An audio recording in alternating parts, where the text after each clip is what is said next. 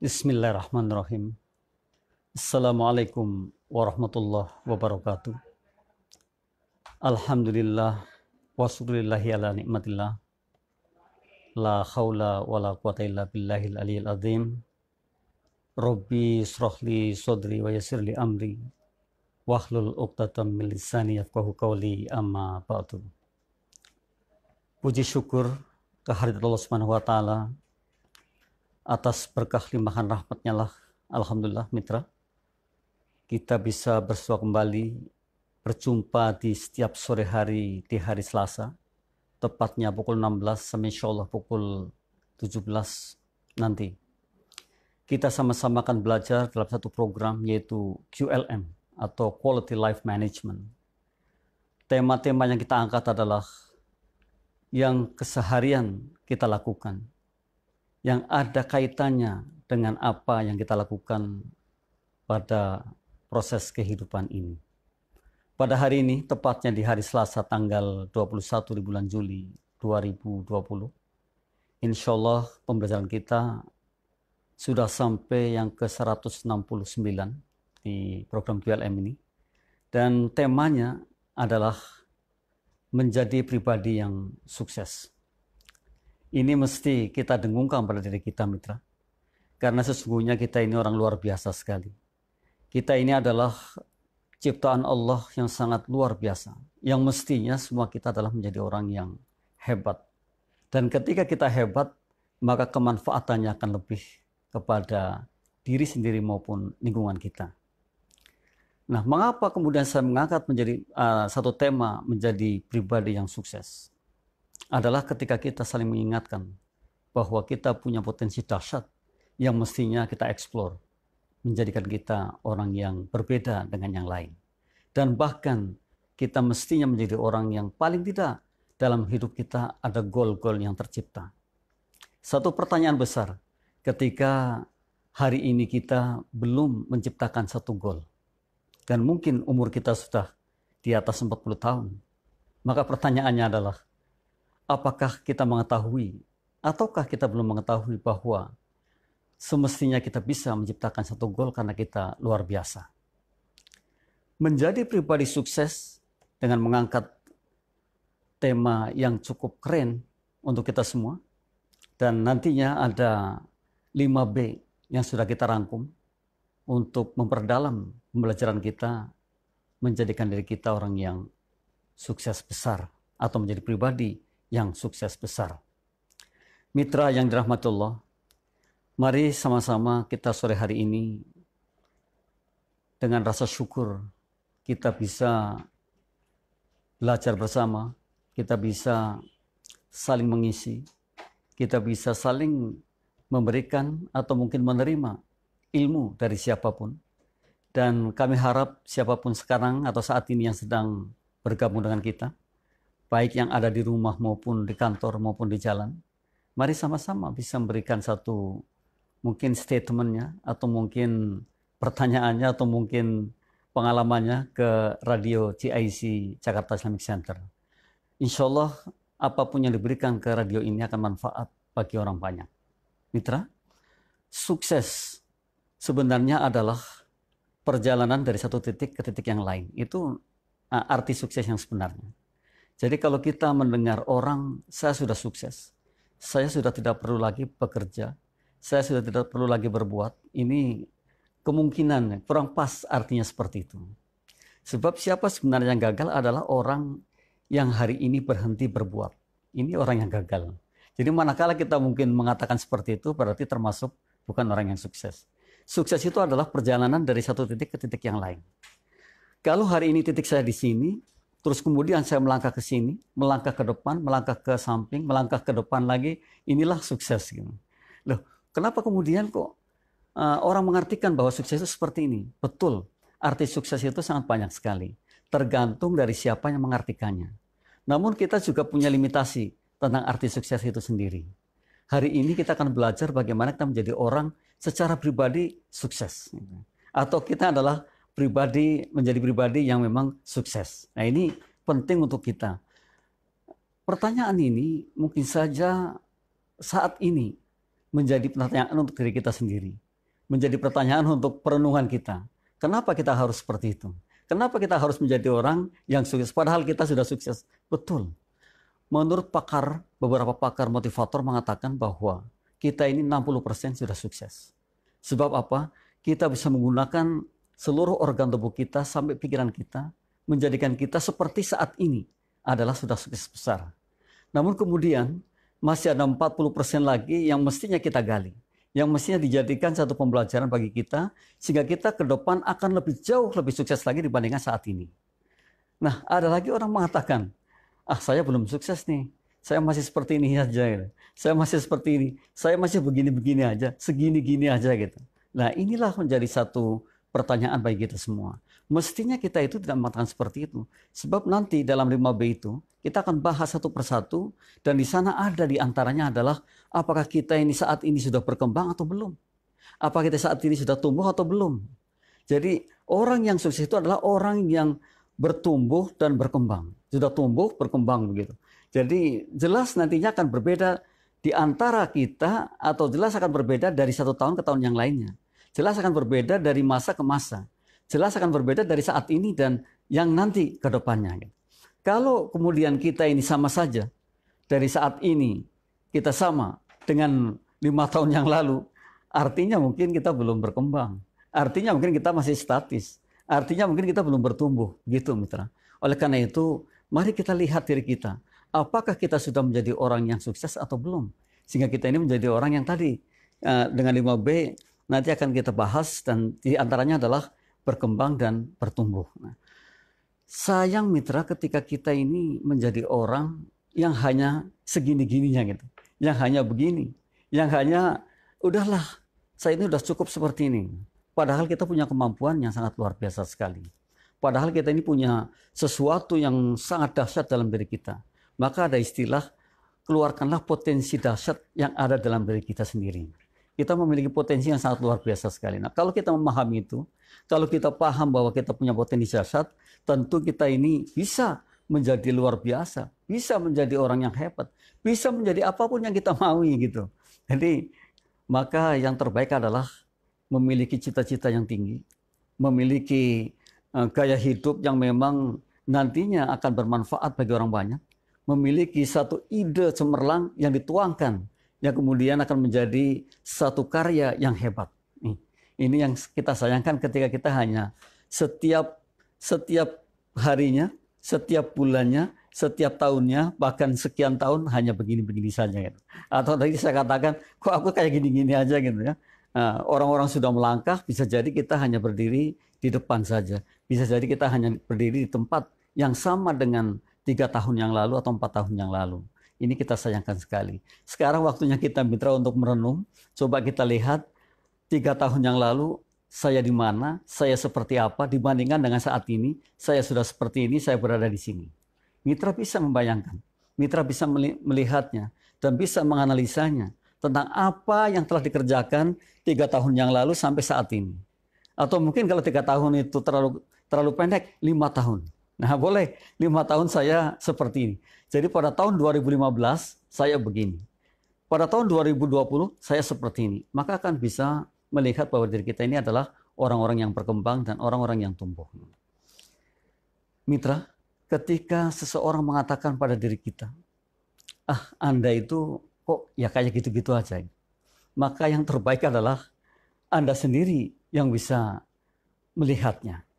Tidak harus tersinggung dengan pertanyaan itu tidak harus meledak-ledak dengan statement itu. Bahkan kita akan introspeksi dirinya mungkin lebih kepada diri kita. Ah, apakah iya? Kalau kawan saya mengatakan lima tahun yang lalu dengan saat ini saya sama saja. Gitu. Apakah betul kalau saya ini tidak bergerak? Apakah betul kalau saya ini statis hanya di sini? Maka dari itu kita mencoba untuk melihat ke belakang.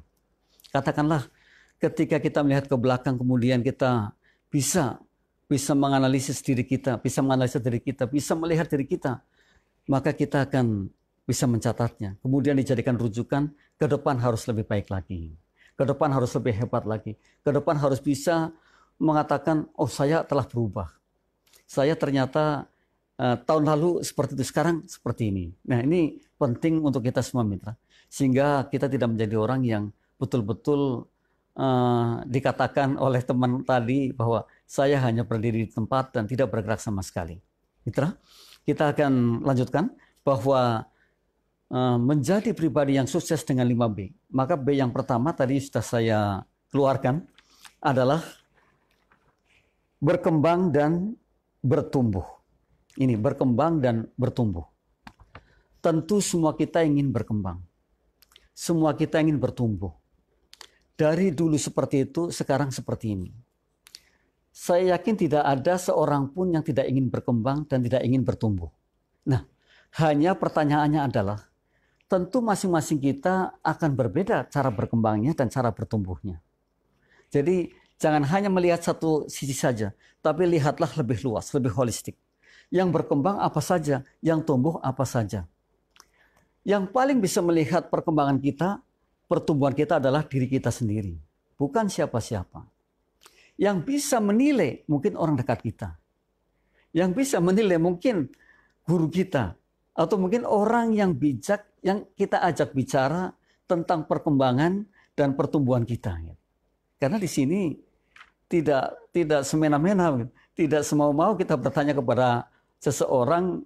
Ya, kalau orangnya tidak mendukung, maka tidak akan ada penyelesaian dan tidak akan ada jawaban yang baik.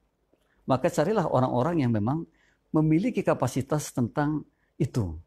Nah, bertanyalah kepada orang yang paling dekat. Ketika kita ini sudah merasakan bahwa saya sudah berkembang, saya sudah bertumbuh. Berkembang dan bertumbuh itu merupakan sebuah kebutuhan. Jadi jangan sampai kita ini menjadi orang yang stuck gitu. Menjadi orang yang, loh orang-orang sudah bergerak ke sana kok saya masih tetap di sini. Orang-orang sudah hebat luar biasa akhirnya akan menjadi satu pembelajaran buat kita sehingga ke depan kita akan berbeda. Kata-kata berkembang dan bertumbuh adalah keduanya yang mesti kita miliki. Keduanya menjadi satu satu kesatuan. Bertumbuh berkembang, berkembang, bertumbuh begitu. Jadi seandainya saja saya hari ini sama dengan lima tahun yang lalu, berarti kita sudah membuang sekian lamanya. Jika kita kalikan lima tahun, berapa hari itu? Satu tahunnya 362 hari katakanlah. Dikalikan lima sudah berapa hari. Ini sangat panjang sekali. Dan satu harinya adalah 24 jam. Dalam 24 jam ada 10 jam yang untuk kita berpikir dan kita bisa berbuat. Dan seandainya dalam waktu yang kurun waktu yang sepanjang itu kita tidak maju, kita tidak berkembang, kita tidak bisa bertumbuh, maka saya katakan ini adalah sebuah kerugian. Ini kerugian yang sangat. Karena kita ini mitra, betul kita ini terus semakin ke sana akan semakin tua. Semakin ke sana akan semakin berkurang umur kita. Kemampuan kita mungkin. Tenaga kita pikiran kita, maka saat ini adalah saat yang tepat untuk kita untuk berkiprah, untuk menunjukkan bahwa kita adalah orang yang berkembang dan bertumbuh. Orang yang memang berbeda dari masa lalu kita. Yang paling baik adalah Anda katakan, kita katakan, we will have difference from now on. Kita akan memiliki sesuatu yang berbeda dari sekarang. Masa depan saya tidak akan sama dengan masa lalu saya. Ini yang paling baik. Jadi masa depan saya akan berbeda dengan masa lalu saya. Ketika kita mengatakan seperti itu berarti hari ini kita sudah mulai berkembang. Kita bisa mulai bertumbuh.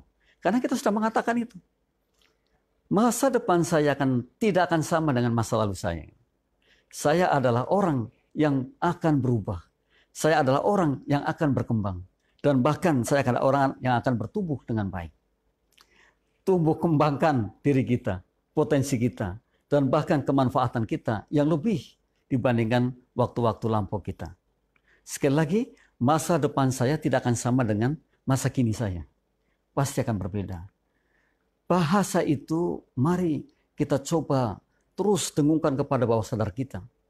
Bahwa kita adalah orang yang memiliki masa depan yang jauh lebih baik dibandingkan saat ini. Kita adalah orang yang akan tumbuh dan berkembang. Kita adalah orang yang kemanfaatannya akan lebih dibandingkan saat ini. Kalau hari ini saya kemanfaatannya cuma lingkungan kecil, bisa jadi lima tahun mendatang kemanfaatan kita adalah jauh lebih luas. Ini kita mampu mitra. Kita ini orang luar biasa. Kita ini bisa Bisa sekali. Kita ini bukan orang yang kerdil. Dan kita bahkan otak kita kapasitasnya itu jauh lebih dahsyat. Kapasitas otak kita sudah saya terangkan. Perjalanan bumi sampai bulan 14 kali pergi pulang. Dan sekali jalan adalah 280 ribu kilometer. Ini menurut para pakar. Kita ini mampu sekali. Kita ini bisa berbuat apa pun yang kita mau. Bahkan orang-orang Eropa mengatakan, we are what we think. Kita ini apa yang kita pikirkan. Kalau kita pikirkan kita bisa, pasti bisa. Kalau kita pikir bahwa kita akan menjadi sesuatu, kita akan menjadi seseorang yang begini, pasti bisa. Karena kita betul-betul luar biasa. Yang kedua mitra, setelah kita tahu bahwa kita harus bertumbuh dan berkembang, kita harus memiliki berjiwa besar. Ini mitra. Orang yang berjiwa besar itu, dia tidak akan takut dengan halangan dan rintangan. Bahkan halangan-halangannya, rintangan-rintangannya, masalah-masalahnya dijadikan pembelajaran yang indah bagi orang-orang yang berjiwa besar. Mestinya kita adalah orang-orang yang berjiwa besar. Jangan cemen.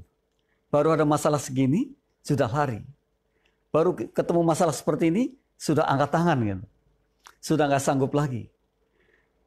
Yang terbaik adalah kita belajar menjadi orang yang berjiwa besar. Ketika masalah datang, maka kita pelajari di mana kekurangan kita, di mana kelebihan kita, apa yang harus kita perbuat ke depan. Kita mencoba untuk menuangkan karena kita adalah orang-orang yang berjiwa besar. Kita bukan orang yang cepat pundung, bukan orang yang cepat putus asa. Sekalipun nanti mungkin dalam perjalanannya jelas akan menemui hal-hal yang tidak menyenangkan. Karena sungguh dalam kehidupan ini hanya ada dua. Kalau tidak sukses ya gagal. Kalau tidak gagal ya sukses itu.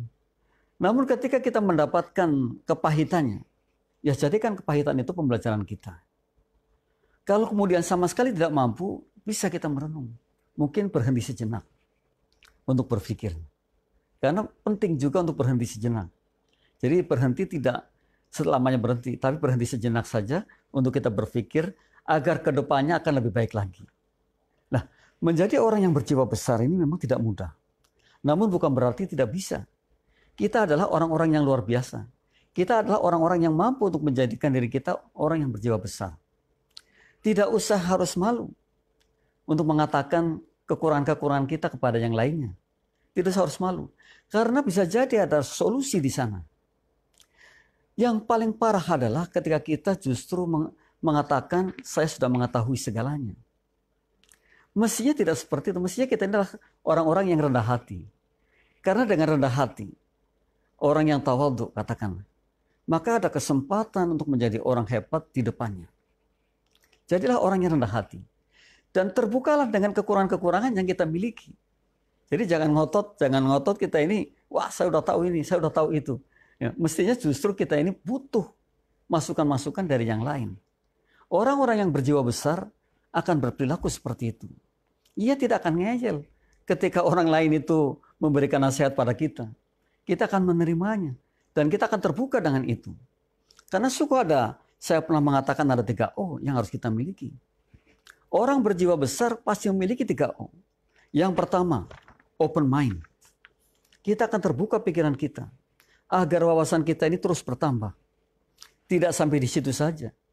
Bahkan orang-orang besar seperti Bill Gates yang kaya raya, Warren Buffett, atau mungkin penemu fried chicken, itu ternyata setiap harinya membaca buku, mengoleksi buku-buku baru, dan bahkan dalam biografinya, seperti Bill Gates itu, dalam satu tahun bisa selesai 50 buku.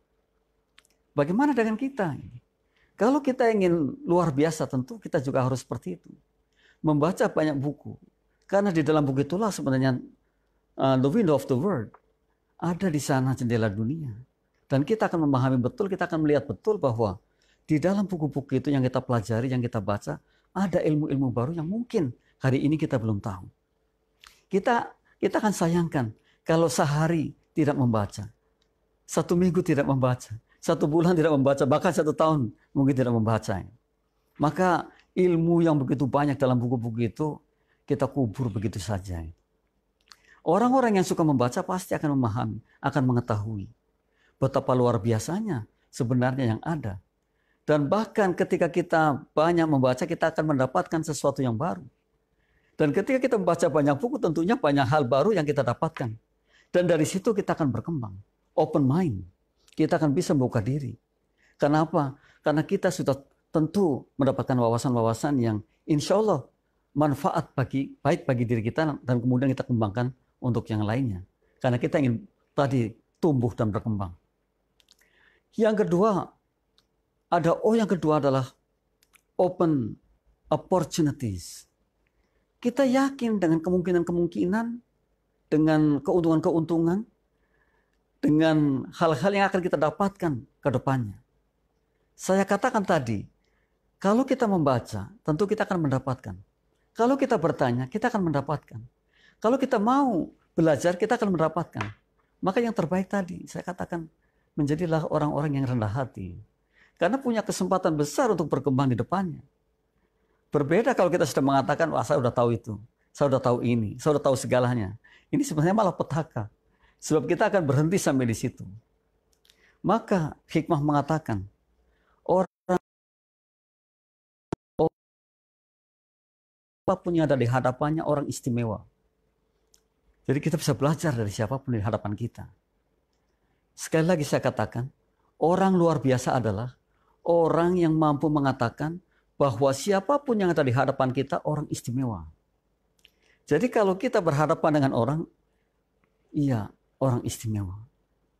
Beliau orang istimewa, Anda orang istimewa. Siapa pun yang ada di hadapan kita adalah orang istimewa. Maka dengan kata-kata itu, kita akan bisa menerima kita akan bisa belajar darinya. Dan open mind terjadi di sini. Sekali lagi mitra, open opportunities. Ada keuntungan-keuntungan besar yang akan terjadi pada diri kita. Kalau saja kita mau terbuka. Kalau kita saja, kalau saja kita mau membuka diri. Kalau saja kita mau mengambil momentum yang baik ini. Jadi janganlah kita menjadi orang yang tertutup atau mengurung diri dengan hal-hal yang sebenarnya kita belum tahu namun seolah-olah kita sudah tahu. Dan bahkan lebih lebih hebat lagi kalau kita banyak belajar dari orang-orang di hadapan kita. Kita akan hebat sekali. Kita akan menjadi orang yang sangat bijak sekali. Karena kita belajar banyak dari siapa pun. Jadi gurunya banyak sekali bukan hanya satu. Gurunya, guru non formal, guru informal gitu. Di hadapan sana adalah guru-guru kami semua dan menjadikan kami orang yang berkembang. Orang yang tumbuh tadi. Orang yang kemudian open mind. Orang yang memiliki masa depan yang lebih atau open opportunities. Ada keuntungan-keuntungan yang akan kita dapatkan. Bahkan yang ketiga, saya sering mengatakan ada open possibilities. Ada kemungkinan-kemungkinan kita akan dapatkan. Ada kemungkinan yang akan merubah jiwa kita. Cara berpikir kita. Pikiran kita, bahkan aksi kita. Kita akan berubah. Jadi sebaik-baik kita adalah orang yang senantiasa merubah segala sesuatunya di depan untuk hal yang lebih baik. Jadi jangan menjadi orang yang stuck begitu aja. Dan bahkan mengatakan, wah udah saya sudah keren nih seperti ini. Saya sudah hebat lah kayak gini. Maka kalau yang ada seperti itu, 3O tidak berlaku. Dan kalau tidak 3O tidak berlaku berarti kita tidak berkembang.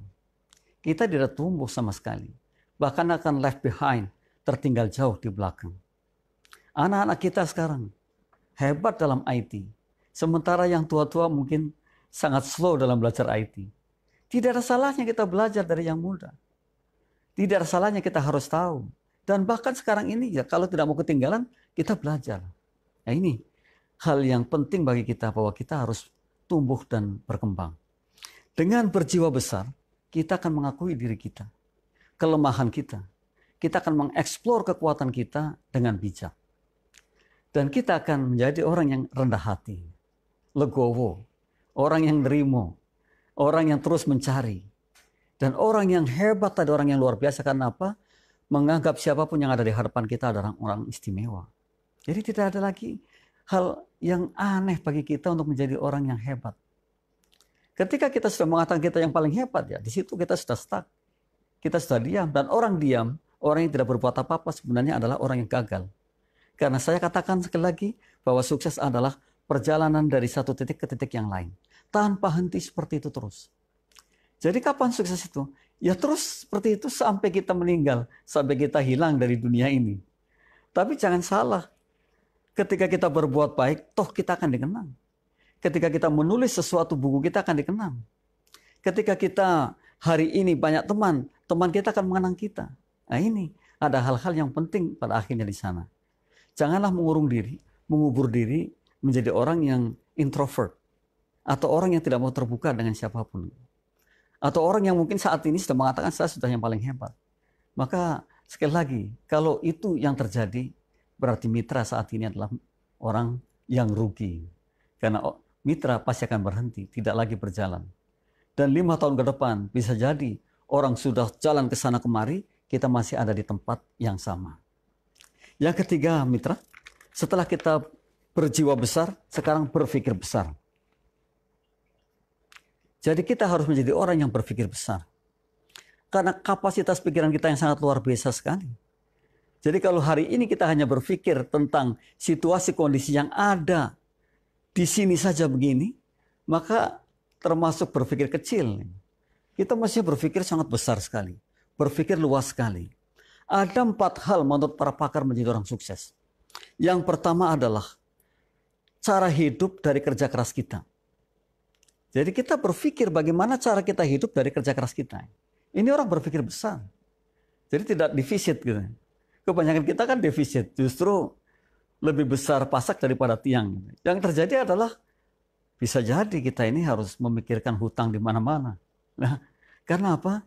Kita tidak bijak dalam berpikir. Empat hal kata motivator, kata pakar, kata orang-orang hebat menjadikan kita dalam hidup luar biasa. Orang luar biasa akan menjadi orang yang berjiwa besar, bertumbuh, dan juga berpikir besar. Di antaranya adalah cara hidup dari kerja keras kita. Orang-orang yang berpikir besar itu akan mengkalkulasi. Kalau saya gajinya 3 juta satu bulan, janganlah pengeluaran saya lebih dari itu. Mesti ada yang harus saya simpan walaupun beberapa persen. Saya harus bijak mensikapi ini dengan cara-cara yang baik pula. Sehingga saya tidak akan terjebak oleh situasi kondisi yang mungkin saat ini saat ini menuntut kita untuk berbuat seperti itu. Nah ini orang berpikir besar. Yang kedua adalah orang yang punya planning besar ke depan.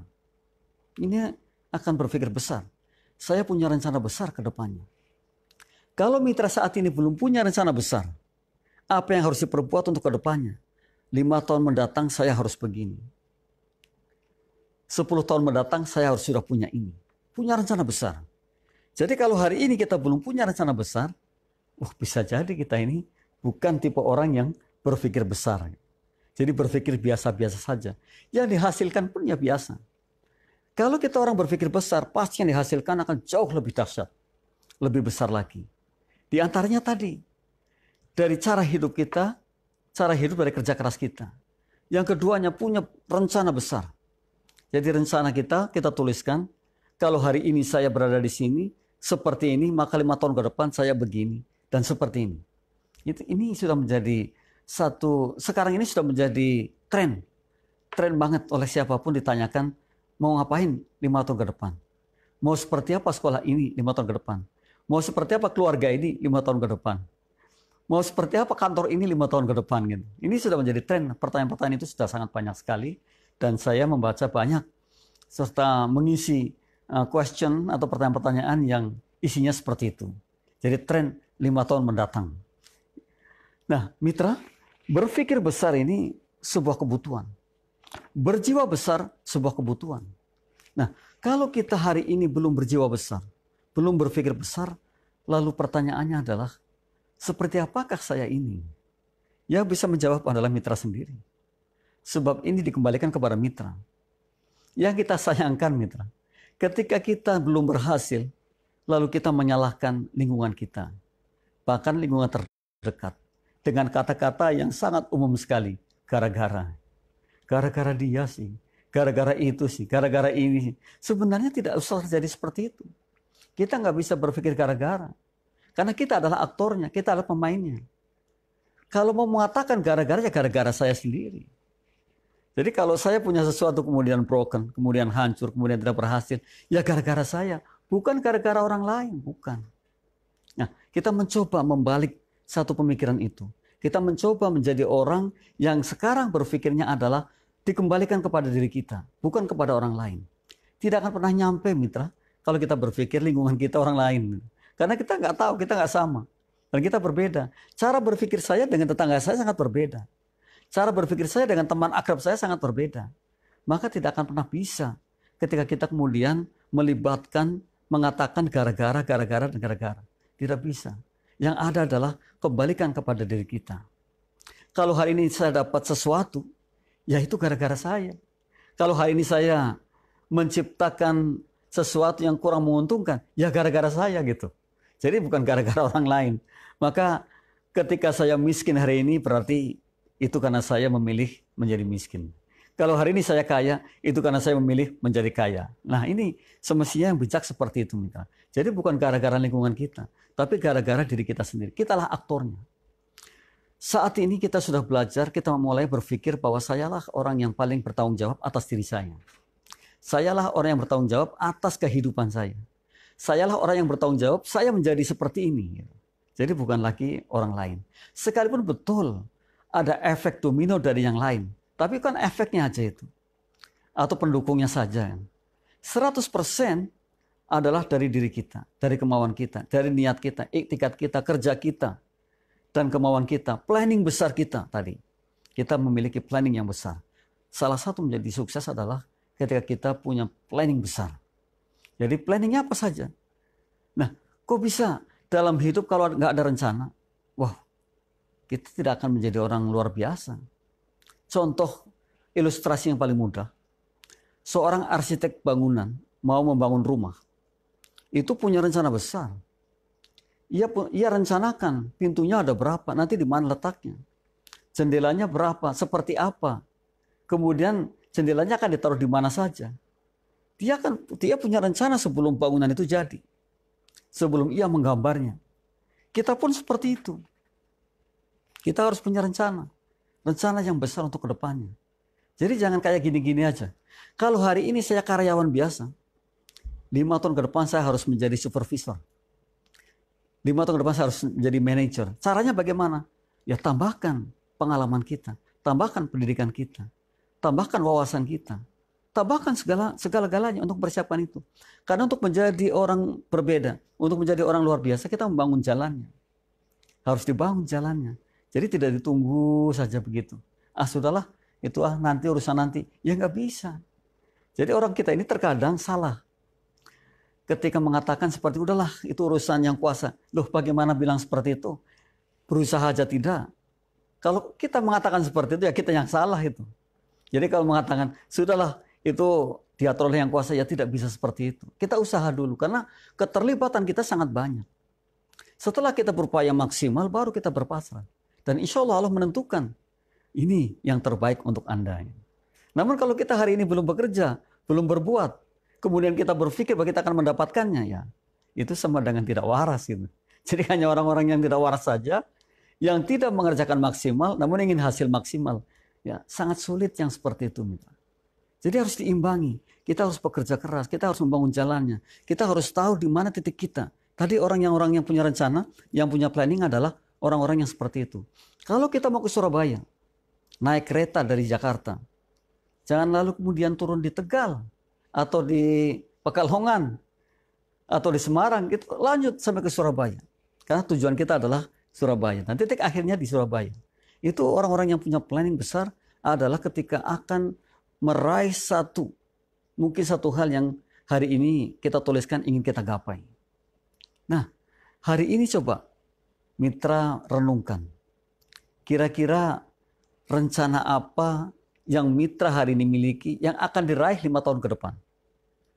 Mungkin ada, wah saya lima tahun ke depan ini harus sudah bisa membuat rumah walaupun kecil gitu. Saya lima tahun ke depan ini harus sudah punya bisnis ini. Tapi dibangun jalannya dari sekarang mitra. Tidak didiamkan gitu. Tidak hanya apa membisu seribu bahasa gitu kemudian kita mengharapkan, ah ini sudah lima tahun, tapi kok nggak datang-datang. Nah, ini kan karena kita tidak berbuat. Sebab keinginan tanpa aksi, ya tidak ada hasilnya. Keinginan ditambah aksi, ya nanti hasilnya adalah uh, sesuatu yang kita inginkan. Saya pernah contohkan, ketika kita lapar, kita ingin makan gitu. Kemudian kita beraksi, kita lari, kita jalan ke warung, kemudian kita makan di sana, ya hasilnya sukses. Kita bisa makan. Jadi ada keinginan plus aksi adalah hasil gitu. Jadi jangan sampai kita berkeinginan namun kita diam saja. Jadi ada kata-kata seperti ini, bagus sekali. Orang yang menginginkan menjadi kaya tidak akan pernah kaya. Kenapa? Karena hanya ingin saja. Dia tidak ada aksi gitu. Bahkan yang lebih hebat lagi ketika kita uh, apa bisa tapi berlatih berlatih dan berlatih sehingga menjadi mahir. Mestinya seperti itu. Aksi-aksi dan aksi sehingga kita akan menjadi mahir. Jadi jangan harap kita menjadi orang sukses besar ketika kita tidak pernah uh, berkutak bergelut dalam kegagalan. Berkutak bergelut dalam aksi. Tidak pernah seperti itu, maka jangan harap kita menjadi orang luar biasa. Orang-orang luar biasa yang saat ini mereka nikmati adalah dulunya pasti mereka sudah terbiasa di tengah-tengah gejolaknya, di tengah-tengah situasi yang tidak menyenangkan, di tengah-tengah situasi yang mungkin saja menjadi kekurangan bagi mereka, sehingga sekarang menjadi kelebihannya. Jadi kalau hari ini kita ini senang, kita ini bahagia, kita ini happy, sebenarnya tinggal tunggu ketidaksenangan kita. Kalau hari ini kita ini bahagia, eh, tidak bahagia, banyak kegagalan, kegagalan, kegagalan, sebenarnya di sana sudah menunggu kebahagiaan kita. Karena dalam berbisnis, dalam berusaha, kegagalan adalah bagian daripada kesuksesan. Jadi ter, tidak terpisahkan. Semakin banyak kita gagal, sebenarnya banyak sekali pintunya terbuka lebar, kesuksesan yang akan kita raih. Gitu. Jadi jadikan ketidaknyamanan hari ini, kegagalan hari ini, ketidakberhasilan hari ini adalah pembelajaran kita untuk mencapai sesuatu yang nantinya akan setimpal atau bahkan lebih baik lagi dibandingkan apa yang kita rasakan hari ini. Jadi tidak ada lagi orang yang pesimis gitu. Kalau gagal kemudian, ah udahlah, saya sudah nggak bisa nih rasanya, berat sekali rasanya. Tidak, mestinya kita masih ada upaya-upaya. Karena ternyata kegagalan itu adalah bagian dari sukses. Jadi bukan bukan hal yang terpisahkan. Semakin banyak kita gagal, maka semakin semakin uh, uh, dekat sukses kita. Semakin banyak kita gagal, semakin mendekati sukses kita. Gitu. Jadi nggak usah takut dengan gagal. Dan bahkan kita sayangkan ketika kita gagal beberapa kali, kemudian kita berhenti. Dan berhenti adalah gagal total ya. Karena orang-orang yang rugi, orang-orang yang orang-orang yang tidak berhasil adalah orang-orang yang berhenti. Gitu. Jangan berhenti, kita terus. Selama kita masih berbuat, karena kita masih punya harapan. Selama kita masih melakukan sesuatu, kita punya harapan hebat ke depannya kita punya harapan keuntungan. Tapi tiga O tadi di atas itu ada open mind, open opportunities dan open possibilities. Ada kemungkinan-kemungkinan kita dapatkan sesuatu. Karena kita mau belajar dari hari ini yang kita dapatkan. Dan bahkan ketika kita banyak sekali kegagalan adalah orang yang beruntung. Karena kita akan kuat, kita akan tegar, dan kita akan memahami tentang arti kegagalan dan kehidupan yang lebih baik ke depannya. Yang keempat mitra, bertindak konsisten. Tadi saya katakan bahwa ada empat hal untuk menjadikan orang eh, sukses besar, yaitu cara hidup, yang kemudian punya rencana besar, yang ketiga adalah perseverance atau tekun. Nah ini di sini bertindak konsisten. Jadi jangan seperti bunglon gitu. Kita konsisten terhadap satu hal. Kita konsisten terhadap sesuatu yang kita inginkan. Jadi disiplin di situ. Kita menginginkan sesuatu, kita terus kejar sampai sesuatu itu kita dapatkan. Ini namanya konsisten. Bertindak konsisten. Uh, first thing first. Sesuatu yang harus didahulukan ya dahulukan gitu. Jangan jangan ini saya ingin ini kemudian ada sesuatu yang kayaknya lebih mudah, ini tinggalkan lari ke sana. Demikian pula seterusnya. Nah ini yang seperti ini yang pada akhirnya tidak konsisten. Bertindak konsisten secara terus menerus diperlukan untuk kita, oleh kita, untuk menjadi orang yang nantinya pribadi yang sukses. Itu. Jadi kalau hari ini kita belum bertindak konsisten, jangan pernah berharap menjadi orang luar biasa. Jangan pernah berharap menjadi pribadi yang sukses. Gitu. Jadi hari ini kita belajar bagaimana cara kita menjadi orang yang bertindak konsisten. Konsisten dalam waktu yang sangat panjang. Karena tidak ujuk-ujuk menjadi hebat itu. Tidak ujuk-ujuk menjadi sukses besar. Melalui sebuah perjalanan yang sangat panjang. Bahkan bertahun-tahun. Menjadi orang yang bertindak konsisten. Sebuah kebutuhan untuk menjadikan kita orang luar biasa. Orang hebat. Kalau saat ini kita tidak konsisten, berarti kita akan memulai baru lagi, memulai baru lagi. Ini belum selesai, sudah pindah lagi. Ini belum selesai, sudah pindah lagi. Ini belum selesai, sudah pindah lagi. Artinya kita tidak akan pernah mencapai goal yang kita inginkan secara maksimal. Bertindak konsisten menjadi satu cara untuk kita sukses. Dalam bahasa yang lain dikatakan perseverance atau ketekunan. Bayangkan si A sebagai penjual nasi goreng pada satu tempat. Ia konsisten di situ. Ia tetap menjual nasi gorengnya. Saya yakin dalam 2-3 tahun ke depan, ia akan dikenal sekali. Dan pembelinya akan sangat banyak. Atau mungkin lebih dari itu. Kalau orang yang konsisten biasanya, orang yang paham betul bagaimana ia menempatkan dirinya. Orang yang konsisten itu akan menjadi orang yang empati, yang memahami betul situasi kondisi dirinya. Nah, ini di sini juga menjadi satu kendala bagi kita. Sangat jarang mungkin termasuk saya bukan orang yang konsisten. Orang yang senang berubah-ubah. Padahal konsisten itu sebuah kebutuhan. Dan mestinya kita miliki menjadi konsisten itu.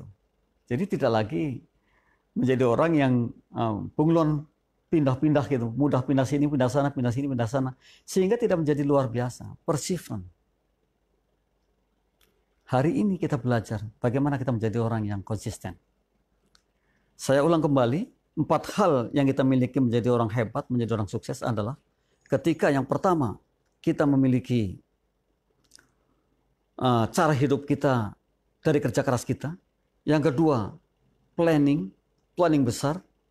Yang ketiga, uh, perseverance atau tadi uh, bertindak secara konsisten dalam jangka yang panjang yang mungkin kita tidak tahu pasti berapa tahunnya. Yang keempat adalah self discipline, disiplin diri. Disiplin diri memerlukan uh, sebuah pembelajaran yang terus menerus. Orang-orang disiplin diri itu orang-orang yang bisa menjaga dirinya dan bahkan segalanya. Dia akan rapi, dia akan baik, dia akan benar-benar melakukan tindakan-tindakan yang memang menunjang kesuksesannya. Ini orang, orang disiplin diri. Jadi tidak lagi orang yang semau maunya. Orang yang disiplin diri itu orang yang betul-betul dalam jiwanya itu tertakar apa yang ingin dijadikan sebuah goalnya. Gitu. Kalau mitra hari ini belum sampai ke situ, bisa jadi mitra bukan orang yang uh, disiplin dirinya tinggi. Disiplin diri artinya bisa menjaga semuanya, bisa memanage semuanya, termasuk waktunya termasuk pemikirannya, termasuk cara hidupnya. Apa saja dimanage dengan baik. Karena sungguh dengan manajemen itu kita akan menjadi orang yang disiplin dirinya tinggi. Pertanyaannya adalah kepada diri kita, apakah kita sudah menjadi orang yang berdisiplin diri tinggi? Ini pertanyaannya. Jadi pertanyaan itu mesti kita jawab sendiri. Orang-orang yang berdisiplin diri tinggi itu adalah tadi. Orang yang mengatur segala-galanya. Ya itu orang baik. Karena dia tidak akan pernah mengecewakan. Dia tidak akan pernah sulaya janji istilahnya. Ya. Tidak akan pernah ingkar janji.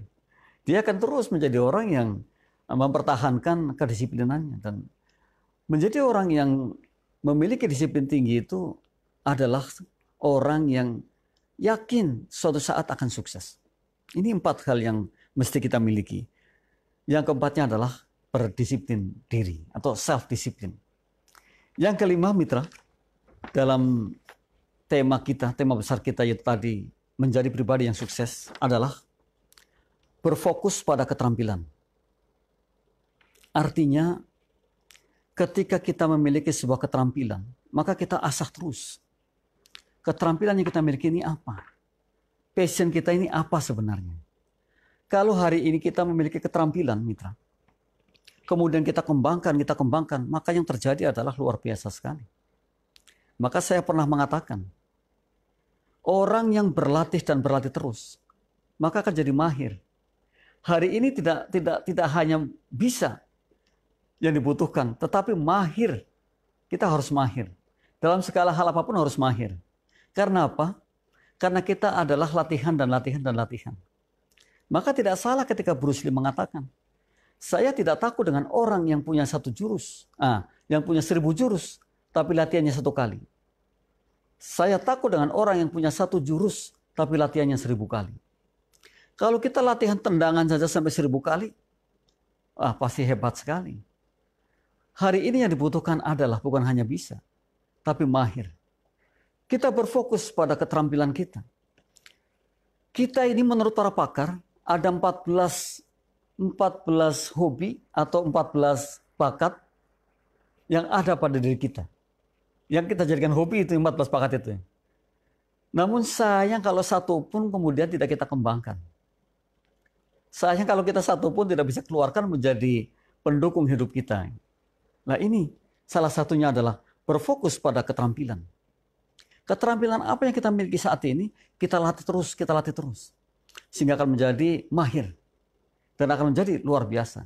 Kekuatan yang hebat banget ketika kita berlatih dan berlatih.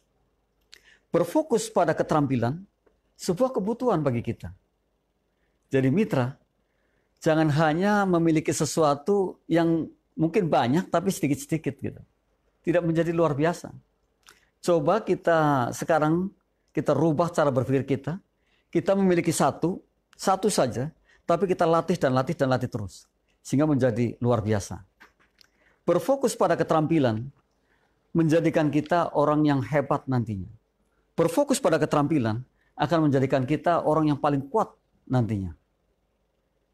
5B tadi mitra, kalau kita pelajari adalah hal-hal yang erat kaitannya dengan kehidupan kita sehari-hari.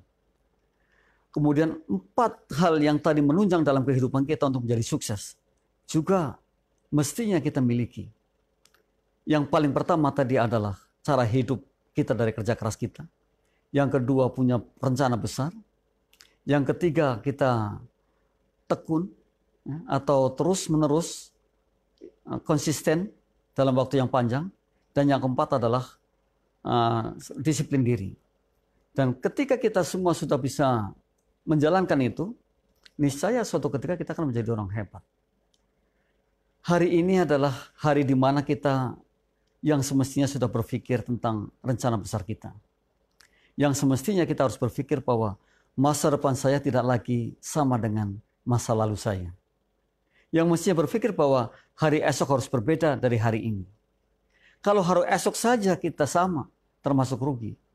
Oleh karena itu mestinya hari esok lebih hebat lagi. Mulai kita kerucutkan, kita pikirkan bahwa kita harus menjadi orang luar biasa. Karena kita bisa, kita mampu. Kita bukan orang biasa saja. Tapi kita orang yang memang berbeda. Kita orang luar biasa. Dan ketika kita berpikir seperti itu, tidak ada yang dijadikan alasan kita untuk menjadi orang biasa-biasa saja. Kita menjadi orang yang hebat karena kita memang punya alasan itu.